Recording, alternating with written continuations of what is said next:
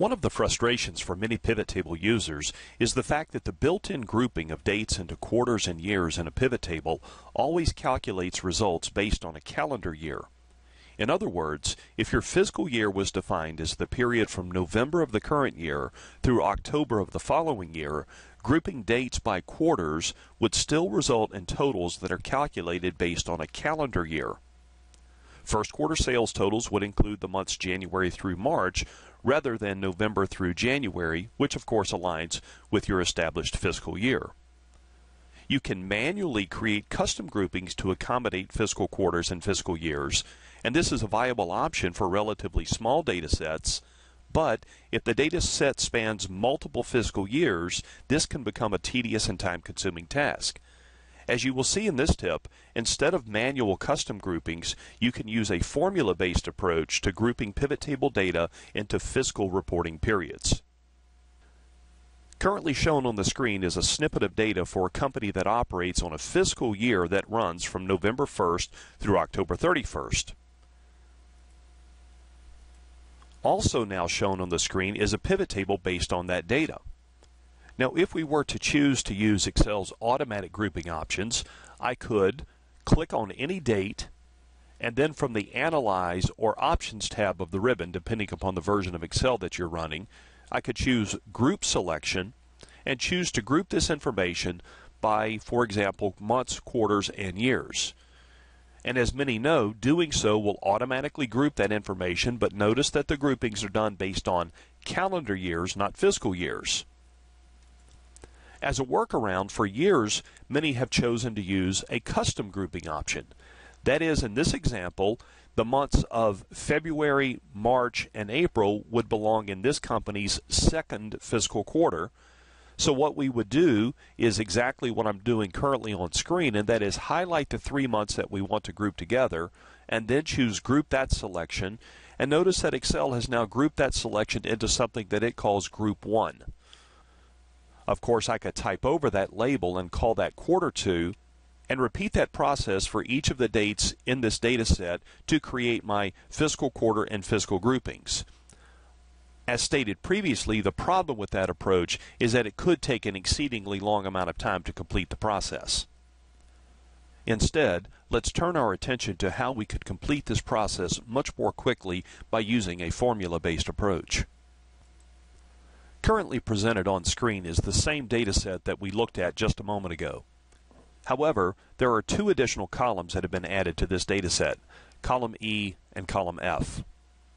These two columns have been added to assist with the process of grouping the information into fiscal quarters and fiscal years. Let's first examine the formula that exists in column E to help us to determine the appropriate fiscal quarter for the date shown in column A. This VLOOKUP formula extracts the month in cell A2, which in this example would be January or month number 1. And then the VLOOKUP continues by searching for that month in the defined name called conversion. And when it finds the month, in this example, month number 1, it brings back the value from the second column of the conversion defined name perhaps it would be helpful to take a look at the conversion defined name, which as you can see consists of cells J1 through K13 in the worksheet. Notice that the purpose of this table is to provide a mapping for the appropriate calendar month into its correct fiscal quarter. Returning to the VLOOKUP formula in cell E2, clearly what we would see is that looking up the value of 1, that is the month from cell A2, in the conversion table and bringing back the corresponding value from the second column would yield a fiscal quarter of 1.